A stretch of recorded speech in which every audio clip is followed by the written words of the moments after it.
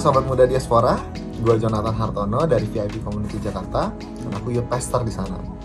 Hari ini aku akan sharing satu topik namanya Knowing His Will. Pernah gak sih teman-teman bergumul atau berdoa sama Tuhan, bilang Tuhan, uh, singkapkan dong kehendakmu. Aku ingin tahu kehendakmu. Pasti kita semua pernah di sini ya.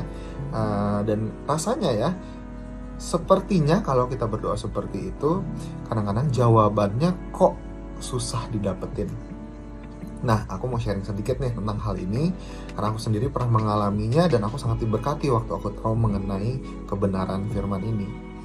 Uh, sering kali kalau kita berdoa seperti itu, ternyata teman-teman di dalam pikiran kita ada satu template uh, jawaban yang kita harapkan dari Tuhan, yaitu kadang-kadang biasanya kita lagi mau memutuskan sesuatu yang lumayan krusial di dalam kehidupan kita atau sedang mau ngambil keputusan, either A atau B, kanan atau kiri seperti itu. Dan waktu kita bertanya sama Tuhan atau mencari kehendaknya, sebenarnya kita lagi minta sama Tuhan, Tuhan A atau B. Apa sih yang aku harus lakukan? Tunjukkan aku sebuah to-do listnya dong, gitu. Ke kanan atau ke kiri, ke arah sebelah mana, dan lain-lain ternyata Tuhan tidak bekerja dengan memberikan kita to-do list. Dia bekerja dengan cara yang lain. Gimana caranya? Roma 12 ayat 1 sampai 2. Karena itu saudara-saudara, demi kemurahan Allah aku menasehatkan kamu supaya kamu mempersembahkan hidupmu, tubuhmu sebagai persembahan yang hidup, yang kudus dan yang berkenan kepada Allah. Itu adalah ibadahmu yang sejati Janganlah kamu menjadi serupa dengan dunia ini, tetapi berubahlah oleh pembaharuan budimu. Ini yang aku maksud.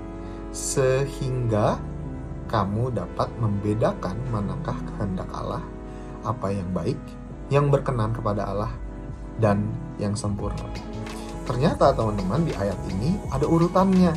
Dan yang terakhir janjinya, uh, dia bilang kalau kamu melakukan dua yang pertama, sehingga katanya jadi urutannya dua yang pertama dulu barulah kamu dapat membedakan manakah kehendak Allah.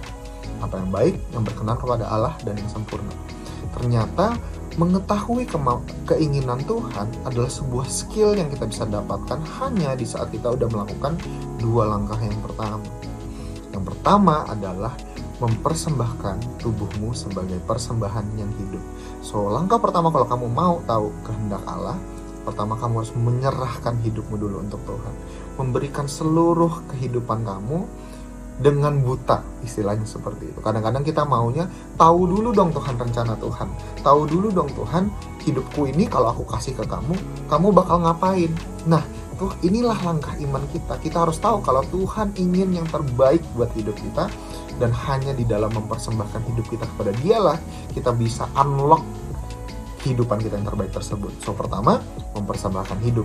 Lalu setelah kita mempersembahkan hidup, dia nggak langsung akan ceritain semuanya apakah hendaknya, tapi dia akan selanjutnya bilang berubahlah oleh pembaharuan budimu.